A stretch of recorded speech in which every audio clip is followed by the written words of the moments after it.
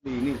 Yes, boss. Okay, we're live. Andito tayo sa magandang lugar ni Mayor Shepherd Tan.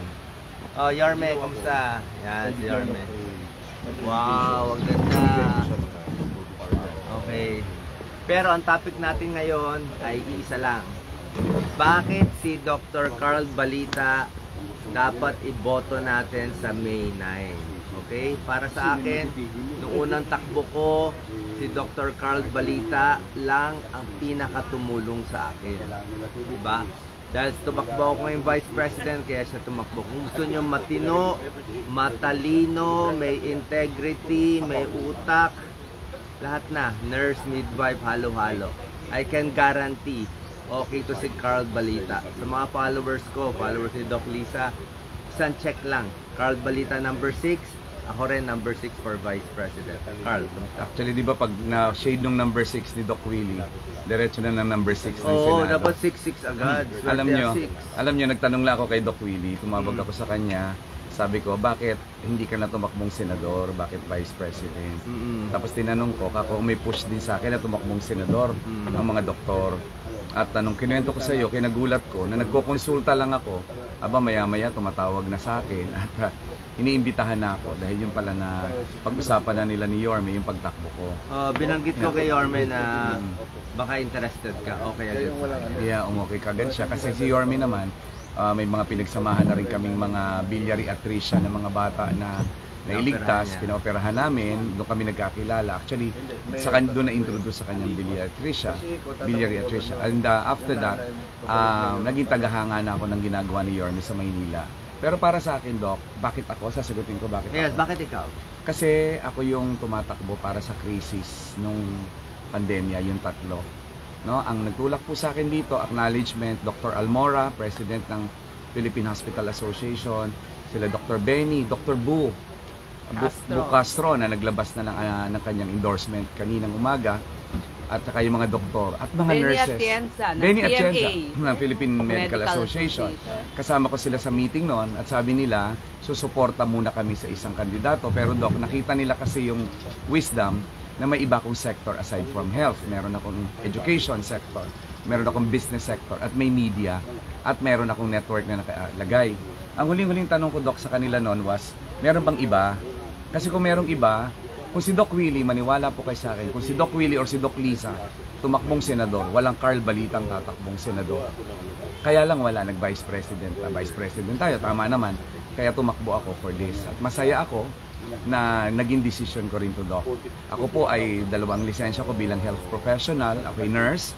Produkto ako ng UST. Ako po ay dating profesor. Naging dekano rin ako for 5 years. At ako ay naging reviewer, author ng mga nursing reviewers.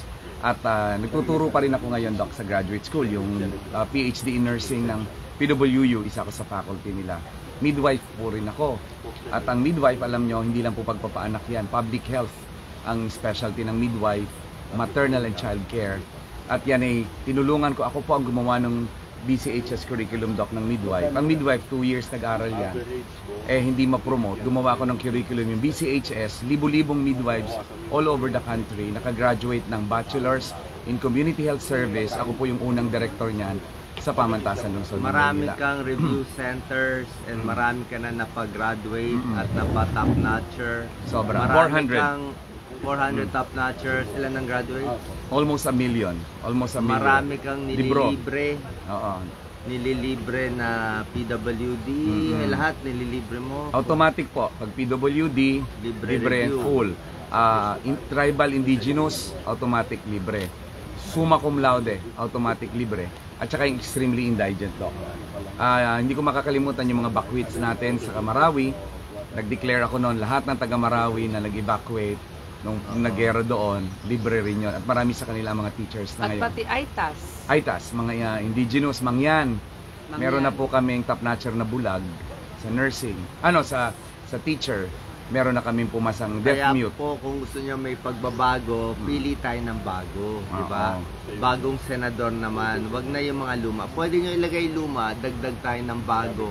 Mm. Naniniwala ako mas gaganda. Kasi habol mo lang pero sa magaling dapat may integrity. eh. Tama. Dapat pag na-opera ng pera, hindi manginginig, di ba? Kasi ganyan lang ang labanan sa politiko eh. May mag-o-offer at kung meron kang gagawin para sa bayan, ano Mm. pipiliin mo? Naniniwala ako si Dr. Carl Balita, pipiliin niya yung tamang desisyon para makinabang kayo. Kaya nga kami may tandem. health tandem. Ako, Doc, mag magpapaumanhin po ako kasi minsan yung iba nayayabangan na lagi kong ibinabandera yung aking kwalifikasyon. Kailangan kong sabihin yung doktor ng edukasyon. Alam nyo, kaya po kung ginagawa yon aside from po sa integridad na at yung, yung compassion at yung gusto kong tumulong, kailangan naman kasi may kwalifikasyon. At yun ang sinisiguro ko na meron ako at ako'y naging responsable sa sarili ko para ako'y makapag-aral, kumuha ng mga board exams at magpatuloy mag-aral. Lifelong learner po kasi ako. At huwag natin kalimutan, Doc, aside from health, importante yung papel ko na gagampanan sa edukasyon. Ako po yung nag-iisang guro. Ako po yung doktor ng edukasyon. Ilang taon kong pinag-aralan ng edukasyon. Um, nahirap po yung kursong yon. Ang akin po Sa mga magiging... teachers, sigurado tutulungan. At magulang. Alam mga magulang, ang Yes. pangarap nyo, mga anak nyo. sa MSME, mga Mm. small business. Doc, yung sa teachers ha, kailangan ay sa edukasyon, kailangan po nating reviewin ang K-12. Alam ko marami kayong hindi umayon sa K-12 dahil nadagdagan ng dalawang taon. Pag-aralan natin yan. Digital na po ang learning. Paano po tayo mag adjust Sweldo ng guro. Ang dami po natin gagawin sa edukasyon ha. Tapos yung MSME doc na ano, ako po ay kampiyon ng MSME, narinig niyo ako sa radyo. Dalawampung taon yon radyo negosyo, napunta sa teleradyo, may mga trainings akong ginawa, livelihood, financial literacy. Pagpapatuloy po natin yan. Kasi malaking bahagi ng ekonomiya natin at maging bah- malaking bahagi ng business natin, 89% 89% doc ay micro enterprises. Tulungan natin yan. And last na lang, natutuwa ako dito sa team natin eh. Isko, ako, ating apat na senador, Carl, Samira Gutok, Jopet Season, John Castriciones. Alam mo, kahit sino manalo sa amin, Hmm. isa lang manalo, Ayos. papasok na yung lima eh. Tama. Sigurado, di ba? Sigurado Pag yon. nakuha ko as Vice President, kasama na yung apat na yan. Mm. Sigurado na yon. Pag nanalo si Carl sa Senado, kung siya Ah. swerte, kasama na rin tayo dun lahat. At ngayon nagpapasalamat So, ako, Doc. ha? Maganda yung pagka-teamwork natin. Nakikita ko kasi ibang ibang ah, kandidato parang solo lang sila eh. Actually, malungkot Iwala kami kanina. Wala yung 12 na iba. Opo, malungkot kami kanina sa sasakyan. Na-realize namin na last sortie na yung kanina. Last town hall. Last town hall na ba yun? Last town hall kasi mamaya concert na eh. Tapos bukas ah, preparation na for our ah, Meeting de de Avance. Kaya kanina medyo emotional kami. Pinagsasa bini- ang ending namin nagbibilang kami ng butas ng Skyflakes. Para kami mga bata kasi na-realize lang namin na ang bilis ng takbo ng panahon kasi nag-enjoy kami. At marami kami Yes, natutunan. It's a big experience. Pasalamat tayo kay Mayor Isko Moreno sa pagkuha sa atin. Meron silang usapan. Pero Doc, ako ha, sasamantalahin namin in behalf of kaming mga senatorial board. Yeah. Salamat din sa friendship, salamat sa suporta. Ah, dito more than anything, ah, napalapit kami sa isa't isa. Minahal namin ang isa't isa. Oh, nalulungkot ako kasi ah, lalo na ako baguhan. I've never been here before. Ano ko pa si Sam, si Jopet, naranasan na nila yon. Pero ako, this is very, some of the best year, um, months of my life. Best Ito yun. times. The best times. This is the best times of our lives. Talagang ang bilis yung learning. Yeah. Pero mo isang Hmm. araw, eh, isang bayan, isang bayan, nakakita ka, naka-eyeball ka ng ilan? 200,000, 300,000 people. Yeah. Grabe. Ngayon, kaya kung bibigyan niyo po kami ng pagkakataon, Mas mapapahaba pa natin to.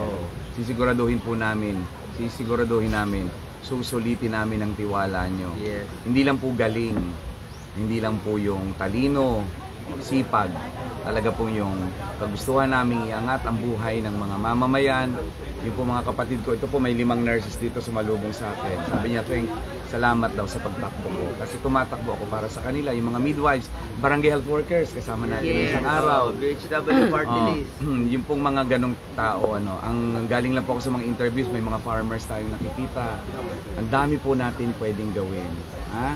Tulungan niyo po kami. May sasabihin po ako, Oh, ikaw naman. yes, Hmm.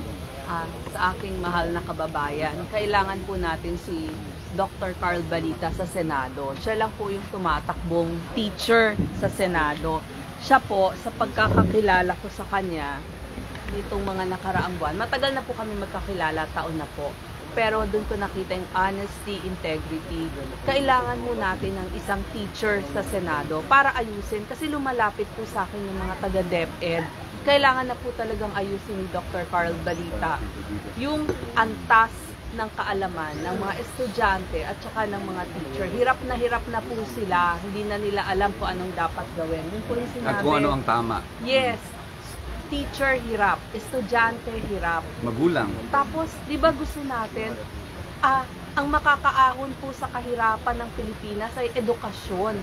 So kailangan ho natin ng teacher para gumanda naman po yung antas ng edukasyon natin. Kailangan po natin Dr. Carl Balita para maipasa naman natin yung mga test na kukunin ng mga bata locally, tsaka abroad, magkaroon ho ng lisensya, makapasa din sa mga eskwelahan sa abroad. Si Carl Balita po at ang kanyang review centers, ah, masasabi ko po, mahusay, magaling, honest. Carl, sobra very positive ang comments lahat sa'yo dito. Matatouch ka. All positive. Salamat po. ka daw nila. Lahat. Maraming maraming salamat po. Wala po Boto akong ka hinangad na masama sa pagtakbong ito. Wala po sa amin ang uma- naghahangad ng masama. Puro serbisyo. Ah, ito po, paalala ko lang po sa inyo lahat. Kung may ibang guro po, pagpilian nyo kami. Wala po eh.